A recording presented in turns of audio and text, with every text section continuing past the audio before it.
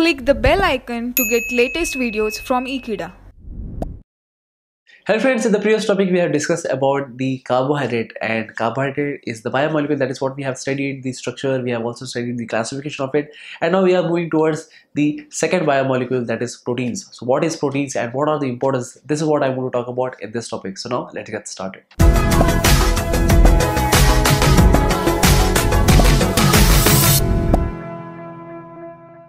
So friends, let me talk about the protein. So protein is in fact a biomolecule. So now let us understand the definition of it. That is, proteins are the complex nitrogenous biomolecules of amino acid containing peptide linkage which have high molecular weight.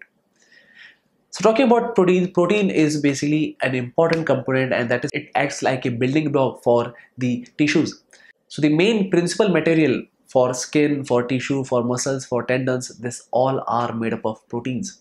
So protein has also the importance in maintaining the functions of the body and that is how basically we have to discuss about the protein. So this is what a short brief about what is protein and now let me talk about that is and now let me talk about that is how it has been formed by the amino acids. So for that we have a particular reaction. We understand that is proteins are made up of alpha amino acids. So in that case let me give you a reaction.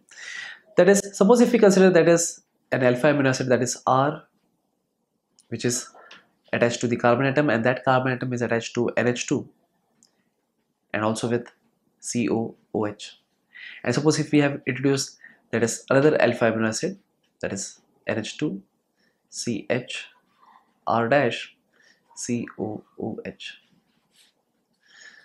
so in that case we could get that is the elimination of OH from here and one of the H it will be eliminated from this side. So that's the reason that the product that is what we could get is NH2 CHR C double bond O this is N H CH R dash COOH therefore this is nothing but it is a combination of two alpha amino acids. So I have only combined two alpha amino acids. What happens if I combine n numbers of alpha amino acids? So in that case I could get that is at every joining of the two alpha amino acid I could get a peptide linkage and that is this one.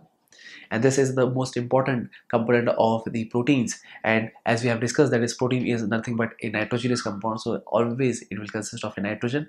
And that is obviously this is what we have discussed about proteins in brief. So thank you friends for watching this video. I hope you have understood that so what are proteins and what are the importance of proteins and that's it. So thank you friends for watching this video. I hope i'll see you next time. Till then don't forget to subscribe. Ekeeda channel. Thank you so much